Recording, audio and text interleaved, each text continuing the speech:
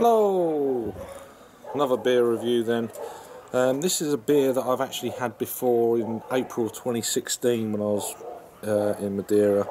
And this is from the Faustino Brewing Co. And this is their Maldita. And this is their English barley wine coming in at 9% ABV. Purchased this in the supermarket chain Continent Continent in uh, here in Madeira and yeah 9% ABV no information. I've had it say once before. Black bottle cap then. So I thought I'd just give it another review. I think it was reviewed 220 something or whenever that was. So a couple of years ago. And it's carbonate. It's coming out a little bit. It's not been in the fridge so it's, it's kind of room temperature or outside temperature whatever it is so be a bit gentle with this.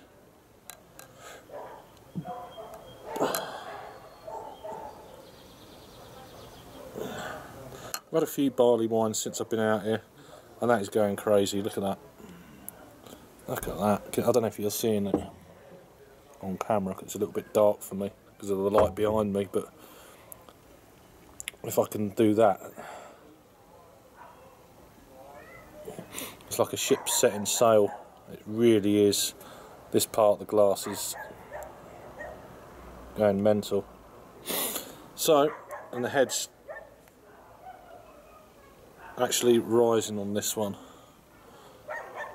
in the glass. It's really powering the head up to. It's about a three, just below, yeah, three finger. Kind of slightly tanned, like coppery head, I suppose, but really tightly packed bubbles. Really reinforcing the head. It's gonna, if I leave it for 10 minutes, it will come over the top of the glass. But apart from that, there's kind of a lot of mahogany sort of colour, and there's loads of particulates getting pummeled around in this. So, bottle conditioned beer. Interesting one. I can't remember what it was like for carbonation the first time round a few years ago but look at that it's actually near the top of the, glass now so I ain't gonna get much of aroma. Apart from like brown sugar. Um,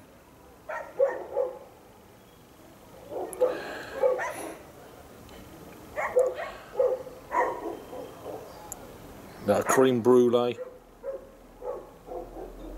not picking up much else. With all that like now three and a half fingers ahead and it's coming out the top now. So I'm going to try and calm this down a bit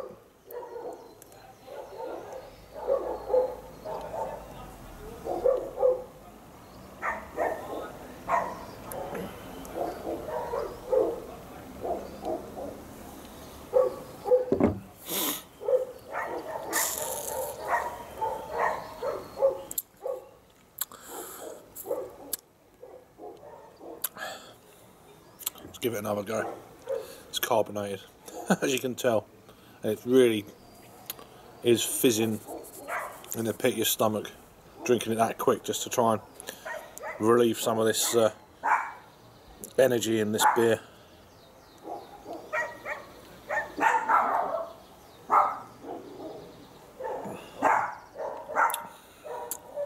Very sweet, brown sugar, as I've already said caramel, toffee. Carbonation is it's a roaring carbonation on this one.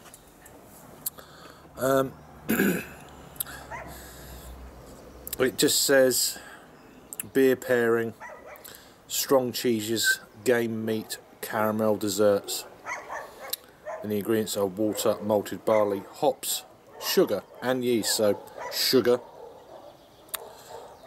That is very sweet. So, I mean, as sugar's are fermentable sugar. Pardon me. I don't know if they've added any kind of lactose this. I mean, I'm not being a brewer. Uh, best before the 1st of September of 2019, so we're fine there. This style of beer wouldn't matter so much anyway. Um, it'd be interesting to see what it would be like in September, age it for that long. And um, in the fridge. Certainly for this bottle. It's calmed down a bit now. I'm not even going to attempt to pour more in because it's just going to go everywhere. But yeah, it's starting to uh, dissipate now, so maybe I could get more of an aroma on this.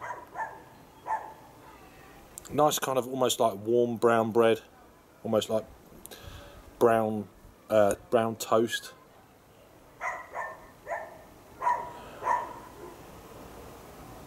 There's a kind of a slight kind of it's, it's sticky because it's that sweet. I mean the ABV is hidden really well for a 9% beer. It's a 330ml bottle. I wasn't going to review this, I was just going to drink it and I thought, ah, what the hell.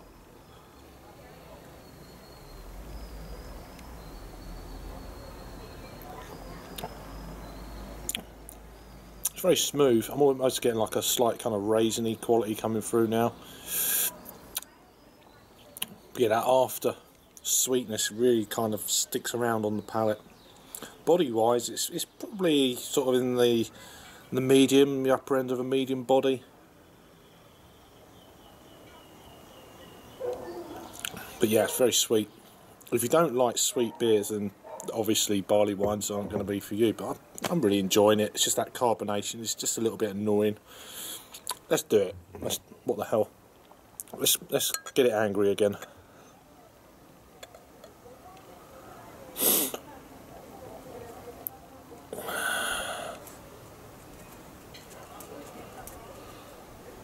As I said in my uh, last review, I don't know when what order I'm posting these. I've just reviewed the uh, Coral 600th anniversary amber lager. The weather is really closing in. Dogs are having a fight. Usual kind of jazz here. Next door neighbour's dog. They can't get to each other. So. Just having a few verbals. Not the locals.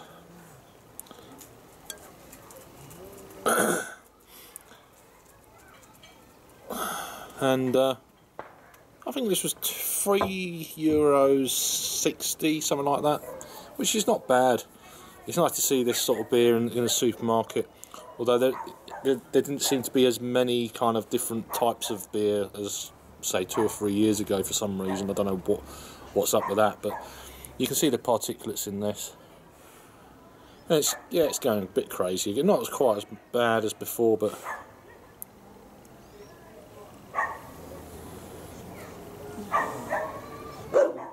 So by the time I post this, it'll be 2019. I thought the dog was coming in. I was just about to kick it. But, um, yeah, I mean, this is okay. Um, I've had a few other barley wines since I've been here on this trip.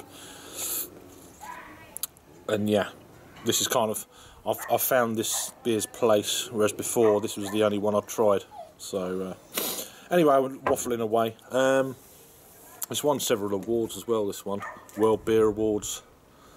Um, it's got gold in Europe.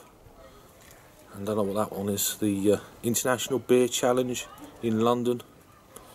And then the 2017 Iber Iberian Awards got gold as well. So it's, it's one of a few bits and pieces award wise. Um, brewed in Portugal. Incidentally, it's brewed in uh, Aveiro Portugal. I'm probably butchering that up, but like I do. Um, and the distribution is by Icon uh, Key. No idea. Bottle conditioned, enjoyed experience responsibly. Of course. Dark copper coloured beer with ruby highlights intense with fruity aromas and caramel notes. That's what it just says here in the translated part. Um, what's that? Global Association of Craft Beer Brewers. That one there. And there's the other awards. So, and it's in the supermarket as well. Um, if it wasn't for the carbonation, I'd give this an 8 out of 10 but because of the carbonation on this one where, it's I don't know how it was stored in the supermarkets it's bad it's bad enough some styles of beer in the UK that dog's driving me up the wall um, here in Portugal, it's probably the same. Um, I, am going to give this. I'm going to give this a seven out of ten. Um, it might have got like a seven and a half, maybe an eight if it wasn't so carbonated. But um, yeah. Anyway, that's a that's a re-review of Faustino Brewing Company. This is their Mal Maldita English barley wine, nine percent ABV. So let me know if you've had this one before. Uh, check out my review of this, or when I originally had it in 2016. I'll put that link down below. Thanks for watching then, and I'll see you in the next review. Cheers. That dog.